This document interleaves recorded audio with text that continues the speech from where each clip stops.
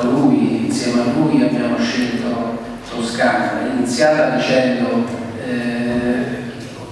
con me che chiedevo a Possella di trovare un allenatore giovane che avesse vinto qualcosa negli ultimi quattro anni. Quindi io non conoscevo Toscana, lui sì, e quindi abbiamo scelto Toscana. Poi insieme hanno fatto, costruito la squadra partendo dai miei valori, cioè dalle promesse che io avevo fatto di fare una squadra divertente che avesse al di là del risultato, avesse comunque fatto divertire la gente, perché il nostro primo obiettivo, che io sicuro qualcuno se lo, ricorderà, il nostro primo obiettivo era quello di, di dare la Ternana ai Ternani, quindi di riportare la gente allo stadio. Quello fortunatamente è stato raggiunto anche per effetto dei risultati.